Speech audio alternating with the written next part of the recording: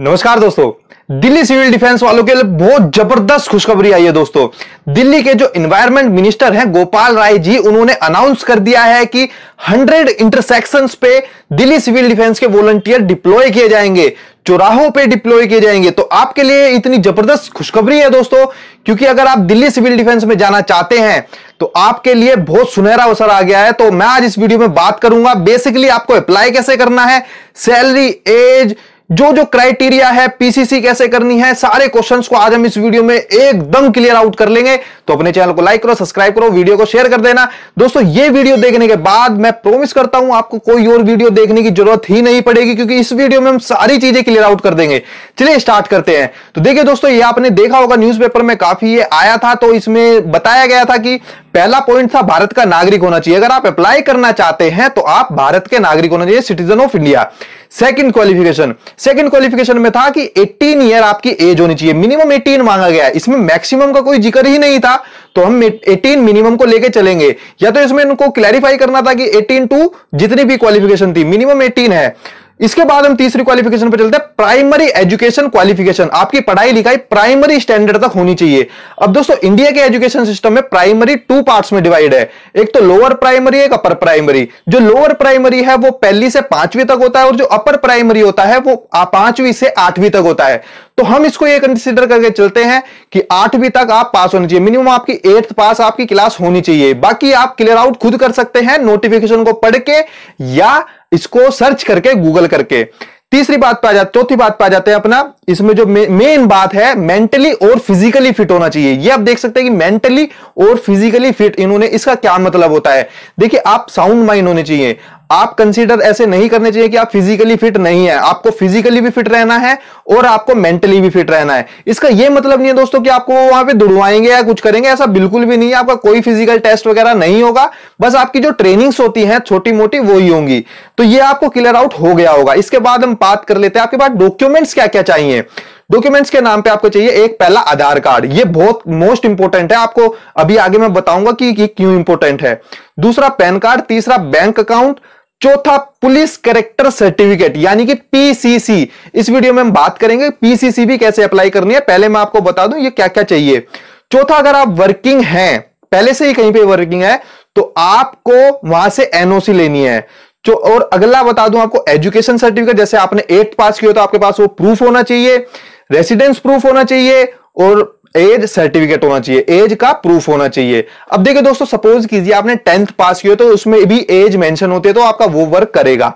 Residence proof में आपको rent agreement चाहिए या आपका बिजली का बिल हो, अगर आप दिल्ली में रहते हैं।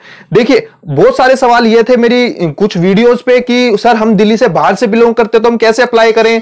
हम मेल हैं या फीमेल है तो कैसे अप्लाई करें? सारी बातें अभी इस वीडियो में आपको क्लियर आउट हो जाएँगी। बस पेशेंस रख के वीडियो को देखते रहना दोस्तों, क्योंकि ये वीडियो आपके लिए बहुत ज़्यादा बेनिफिशियल है। चलिए देखते हैं आगे कि अब इसमें कैसे कैसे आपको करना है। एक कैंपेन चलाया जा रहा है दोस्तों दिल्ली में रेड लाइट ऑन और गाड़ी ऑफ़ ये जो एक कैंपेन है, इसके तहत ही वॉलंटियर डिप्लॉय किए जा रहे हैं। मैं आपको इस वीडियो में ये भी बताऊँगा कि आपकी डिप्लॉयमेंट कहाँ कहाँ हो सकती है। बहुत बच्चों के ये सवाल थे कि, सर, इसमें डिप्लॉय कहाँ होते हैं? क्या वर्क होता है? और कैसे कैसे इसमें क्या होता है कि फ्री सेवा भी देनी पड़ती है? तो ये वीडियो आपके लिए क्लियर आउट होगी अब सबसे पहले हम बात कर लेते हैं इसमें सैलरी की।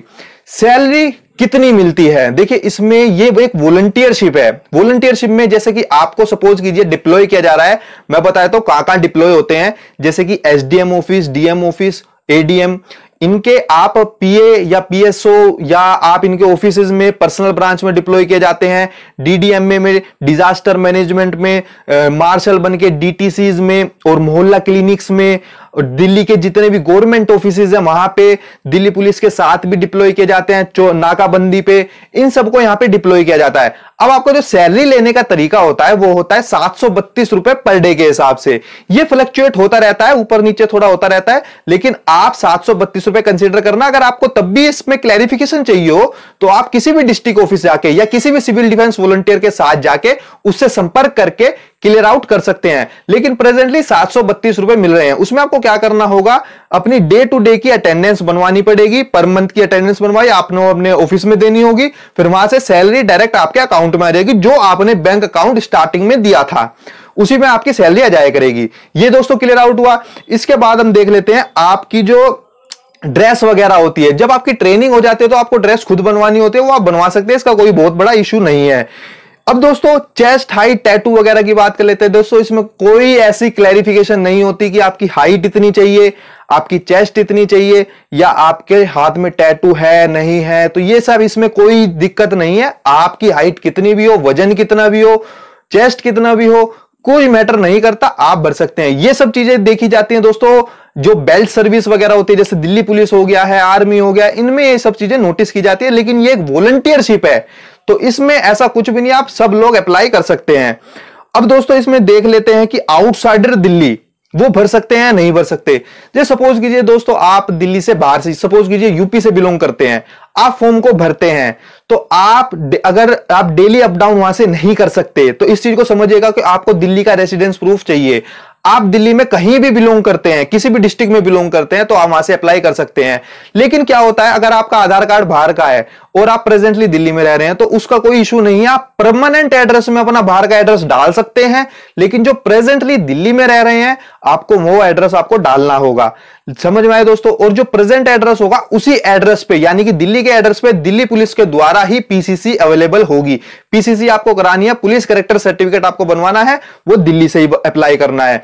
अप्लाई करने का क्राइटेरिया मैं आगे दिखाऊँगा, अभी आपको पीसीसी भी कैसे अप्लाई करनी है। पीसीसी करने के बाद जब आपका पुलिस करेक्टर सर्टिफिकेट इशू हो जाता है, वो आपको ऑनलाइन चेक करना है, फिर आपको सिविल डिफेंस का फॉर्म भरना है, वो भी भर के दिखाऊँगा स्टेप बाय स्टेप बड़े ध्यान से समझना है। ये दोस्तों बात रही इन सब चीज़ों की, आपको क्या क्या रिक्वायरमेंट चाहिए सिविल डिफेंस का वॉलंटियर बनने के लिए।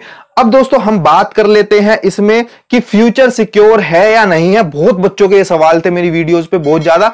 तो हम ये देख लेते हैं। देखो फ्यूचर इसमें दोस्तों अगर आपकी एज है तो ये मेरा पर्सनल सजेशन आपको रहेगा। अगर आपकी एज है, आप गवर्नमेंट जॉब की तैयारी करते हैं, नौकरी की तैयारी करते हैं तो आप अपनी तैयारी बरकरार रखिए। और अगर आपकी एज निकल चुकी है तो ये एक सेकेंड ओपिनियन हो सकता है। आप अप्लाई कर दीजिए और आप इसको देख सकते हैं एज अ जॉब क्योंकि बहुत से जो लोग हैं, वो काफ़ी 10 10 15 15 साल से भी लगे हुए हैं यहाँ पे तो उनको कोई प्रॉब्लम अभी तक क्रिएट नहीं हुई है।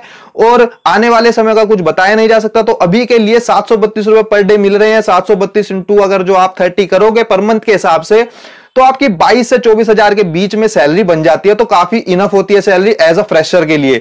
फ्रेशर्स को अभी देखते हैं कोविड के, उसमें काफ़ी अच्छा काम किया है इन्होंने, दिल्ली सिविल डिफेंस के वॉलंटियर नहीं, हमारे केजरीवाल साहब, जो दिल्ली के मुख्यमंत्री हैं, उन्होंने भी काफ़ी अप्रिशिएट किया है इनको। तो दोस्तों, अब इसमें आगे हम आ जाते हैं कि आपको बेसिकली पीसीसी के लिए अप्लाई कैसे करना है, फिर हम उसके बाद बात करेंगे कि आपको सिविल डिफेंस के लिए कैसे अप्लाई करना है। तो दोस्तों वीडियो के साथ बने रहिए। डिस्क्रिप्शन में आप क्लिक करोगे तो आपको कुछ अपने सामने ऐसी इमेज दिखेगी और ऐसी डिस्प्ले ओपन हो जाएगी। उसके बाद आपको क्या करना है? रजिस्टर पे क्लिक करना है। रजिस्टर पे क्लिक करने के बाद आपको अपनी ईमेल आईडी डालनी है, जैसे कि मैंने डाल रखी है, और यहाँ पे आपको ईमेल आईडी डालने के बाद एक वेरिफिकेशन कोड आपकी मेल आईडी पे आएगा, और फिर आपको ये सबमिट कर देना है। सबमिट करने के बाद आपके सामने कुछ इस टाइप का ओपन हो जाएगा। ये दोस्तों, आप अपने मोबाइल में ही ओपन रखना। अगर आप कंप्यूटर में करना चाहते हो तो कंप्यूटर में कर लेना। सेकंड, अब आपको यहाँ पे डालना है यूज़र टाइप अब आपको यहाँ डालना है इंडिविजुअल क्योंकि आप अपनी इंडिविजुअल की करा रहे हो, आप अपनी ऑर्गेनाइजेशन की तो करा नहीं रहे हो। इसके बाद यहाँ पे आपको नाम डालना है। नीचे ईमेल आईडी डली हुई है। आपको अपना पासवर्ड जनरेट करना है। अब तो मैं इसको कर देता हूँ दोस्तों कि जो जो रिक्वायरमेंट ये मांग रहे हैं, उसको हम सफलतापूर्वक करेंगे। और ध्यान रहे दोस्तों, इसमें कोई भी मिस्टेक आपको नहीं करनी है। तो चलिए हम डाल देते हैं। जो जो रिक्वायरमेंट ये मांग रहे हैं, बिल्कुल अच्छी तरह सावधानी से सेम पासवर्ड डालना है, जो इन्होंने मांगा है। तो हम इसको कनेक्ट कर देते हैं।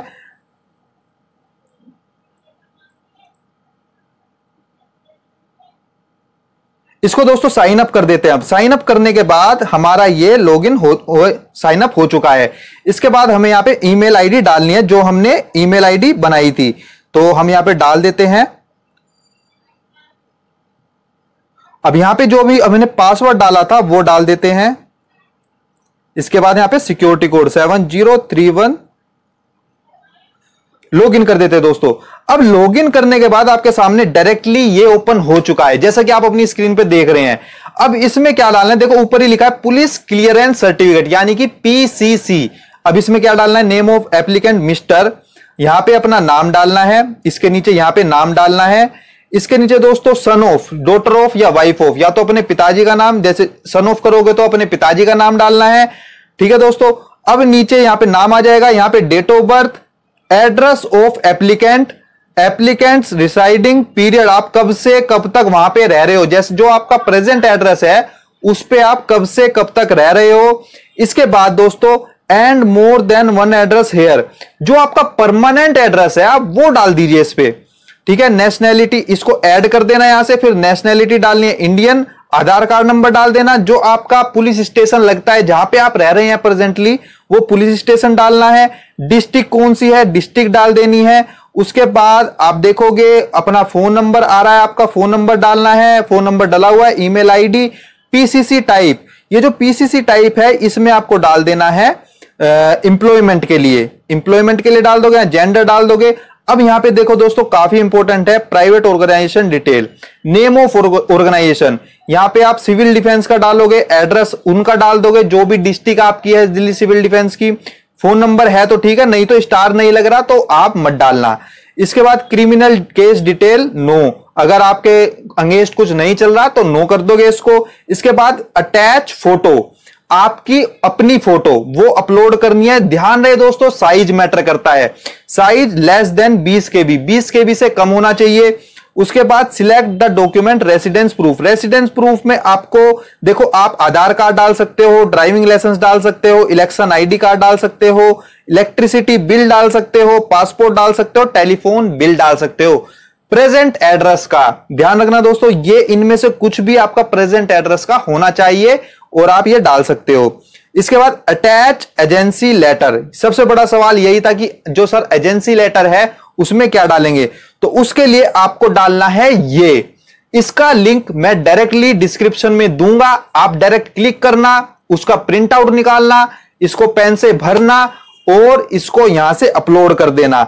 अब नीचे if tenant attach rent agreement अगर आप किराए पे रह रहे हो तो आप रेंट एग्रीमेंट भी अपलोड कर सकते हो। अब जैसे सपोज़ कीजिए आपके पास दिल्ली का कोई भी इनमें से प्रूफ नहीं है, बाहर का प्रूफ है तो आप क्या करोगे? कोई भी डाल देना, जैसे आधार कार्ड आपके पास, बाहर का आपने डाल दिया। इसके बाद इफ़ टेनेंट मतलब आप अगर किराएदार हो तो आप अपना रेंट एग्रीमेंट यहाँ पे चूज़ करके अपलोड कर देना।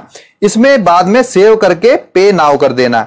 दोस्तों, इसमें फिर जो जो क्वेरीज मांगेगा, आपको वो पूरी कर देनी है। इसके बाद दोस्तों इसके बाद क्या आपकी कोशिश होती है? जब आपको चेक करना होता है कि आपकी पुलिस वेरिफिकेशन का स्टेटस क्या है तो आप कैसे चेक करोगे वो देख लीजिए। अब आप अपनी स्क्रीन पर देखिए पीसीसी कंफर्मेशन स्टेटस यहाँ पे आप अपना पीसीसी नंबर डालना नेम और सनोफ वगैरह डालोगे तो आपको पता चल जाएगा कि आपकी पीसीसी हो गई है या नहीं हुई है। तो ये बेसिक फंडा था पुलिस वेरिफिकेशन का। अब जैसे पुलिस वेरिफिकेशन आपकी कंप्लीट हो जाती है उसके बाद आपको क्या करना है, कैसे अप्लाई करना है, वो आपको मैं अभी दिखाने वाला हूँ। ये नीचे डिस्क्रिप्शन में जाके डायरेक्ट अप्लाई कर देना ऑनलाइन कैफ़े पे जाने की कोई ज़रूरत नहीं, आप मोबाइल से खुद कर सकते हैं। दूसरी बात, जब आपकी पुलिस वेरिफिकेशन हो जाए 10 या 15 दिन का टाइम लग सकता है, क्योंकि पुलिस वाले उसको वेरीफाई करेंगे और फिर आपको सर्टिफिकेट इशू कर देंगे। उसके बाद आप डी डिस्ट्रिक्ट की वेबसाइट पे जाके, जिसका लिंक मैं डिस्क्रिप्शन में दूँगा, और अभी मैं आपको दिखाऊँगा कि कैसे कैसे अप्लाई करना है। आपको उस लिंक पे क्लिक करना है, फिर अप्लाई करना है। अब दोस्तों, आप, आपको अप्लाई कैसे करना है, डिस्क्रिप्शन पे जो लिंक दिया उस पर क्लिक करो, आपके सामने कुछ इस प्रकार की डिस्प्ले आ जाएगी। डिस्प्ले ओपन होते ही आप देखोगे यहाँ पे ई डिस्ट्रिक्ट की वेबसाइट ओपन हो चुकी है, जैसा कि आप अपनी स्क्रीन पे देख रहे हो। और इसके साथ साथ न्यू यूज़र हो आप तो न्यू यूज़र पे क्लिक कर देना ऊपर। न्यू यूज़र पे जब आप क्लिक कर दोगे तो आपसे ये डिटेल्स मांगेगा, देखिए, जैसे कि रजिस्ट्रेशन फॉर्म आ गया है। अब यहाँ पे आपको आधार कार्ड ही डाल देना है। आधार कार्ड का आप यहाँ नंबर डालेंगे और रजिस्टर कर देंगे। जब आप यहाँ पे सारी डिटेल डाल दोगे तो आपको ईमेल के थ्रू और मैसेज के थ्रू कंफर्मेशन आएगी कि आपका यूज़र आईडी पासवर्ड। ठीक है दोस्तों, फिर आपको क्या करना है? वो यूज़र आईडी पासवर्ड लेकर रजिस्टर्ड यूज़र आईडी लॉगिन में जाना है। यहाँ पे आपको अपने यूज़र आईडी पासवर्ड डालना है, जैसे कि मैं अब आपको डाल के दिखा देता हूँ जो मैंने अभी बनाया था। तो इसमें थोड़ा सा समय भी लग सकता है तो दोस्तों वीडियो के साथ बने रहना। वीडियो को स्किप बिल्कुल मत करना, क्योंकि ये वीडियो आपके लिए बहुत ज़्यादा बेनिफिशियल होने वाली है। तो अब हम इसमें डाल देते हैं अपना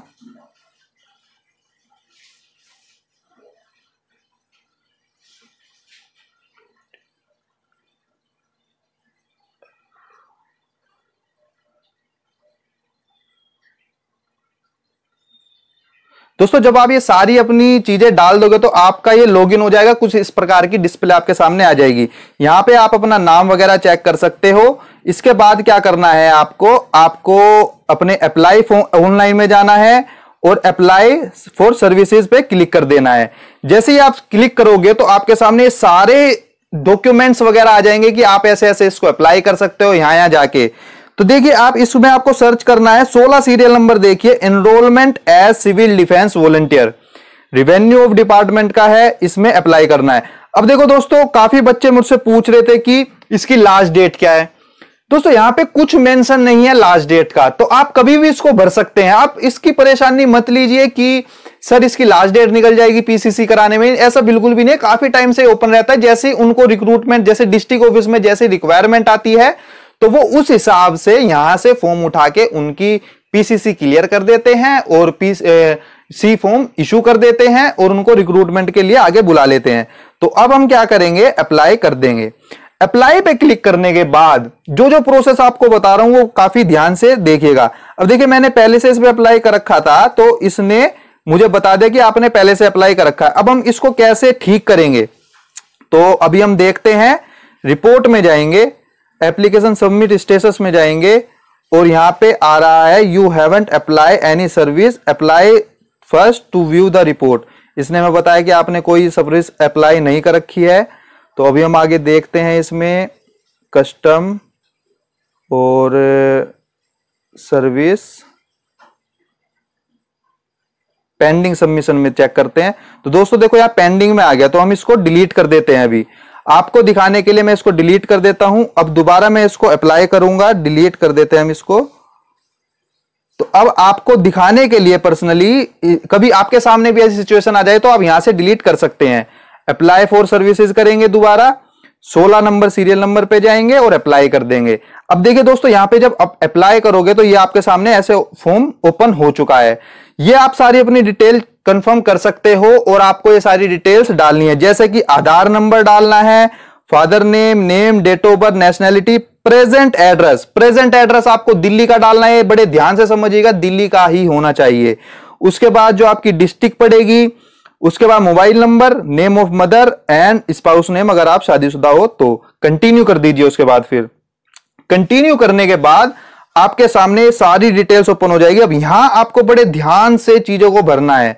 देखिए दोस्तों, यहाँ पे आप जैसा स्क्रीन पे देख रहे हैं, बड़े केयरफुली भरना, जैसे कि आधार नंबर भरना है आपको आइडेंटिफिकेशन मार्क आइडेंटिफिकेशन मार्क का मतलब है दोस्तों कि जैसे कहीं मार्क हो, चेहरे पे, शरीर पे, कहीं भी मार्क हो या आईब्रो पे तो आपको मार्क मेंशन करना है। सीवीडी पुलिस स्टेशन जो आपका पुलिस स्टेशन है ऑक्यूपेशन नाम, अगर आप ऑक्यूपाइड है मतलब आप पहले से कहीं वर्क कर रहे हैं तो उसकी डिटेल डालनी है। एजुकेशनल क्वालिफिकेशन व्हीकल है आपके पास यस और no do you have driving licence yes और नो आपके पास ड्राइविंग लाइसेंस है, उसका हाँ या ना कर दीजिए ब्लड ग्रुप हाइट वेट देखिए हाइट और वेट आपको बता दूँ, काफ़ी बच्चों के सवाल थे इसमें कि हाइट मेरी इतनी है या वेट इतना है, कमज़ोर हूँ, मोटा हूँ तो अब मैं भर सकता हूँ।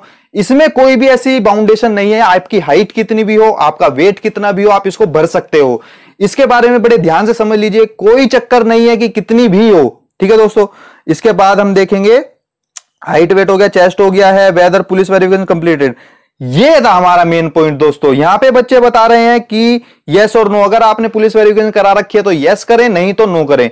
अब आप इसमें कर दोगे नो, क्योंकि काफ़ी बच्चे कह रहे थे कि, सर, हमने तो वहाँ पे नो कर दिया। तो आप अगर नो कर दोगे तो आपका फॉर्म वहाँ पे रिजेक्ट हो जाएगा।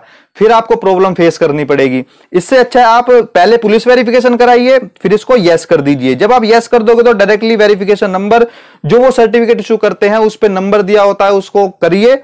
इसके बाद अकाउंट जो आप दिल्ली का अकाउंट होगा, आपका उसकी डिटेल डालिए यहाँ पे एम वगैरह। Next of kin detail of next of kin ये बच्चे पूछ रहे थे कि, सर किन को क्या बोलते हैं? तो मैं आपको बता दूँ, जो आपका नियर बाय ब्लड रिलेटिव है, या तो जैसे आप शादीशुदा है तो आपकी वाइफ अगर आपकी शादी नहीं हो तो आपका भाई, छोटा भाई, या बड़ा भाई, कोई भी है माता पिता जो भी है, उनकी डिटेल डाल दीजिए। अब यहाँ पे आप कंप्लीट कंटिन्यू एंड नेक्स्ट कर दीजिए, फिर आपका फॉर्म सक्सेसफुली भर जाएगा, और आप यहाँ से इसको डाउनलोड कर सकते हैं। आफ्टर सम टाइम जब आपकी ये फॉर्म फिलअप हो जाएगा तो आपको ये रेगुलरली चेक करते रहना है। कुछ टाइम बाद ये आपका फॉर्म एक्सेप्ट कर लेंगे और उसके बाद क्या करेंगे, आपको इंटीमेट करेंगे कि आप वहाँ पे आ जाइए। अगर आपके पास मैसेज भी ना आए तो आपको क्या करना है नियर बाय डिस्ट्रिक्ट ऑफ़िस जाना है और वहाँ रेगुलरली कुछ कुछ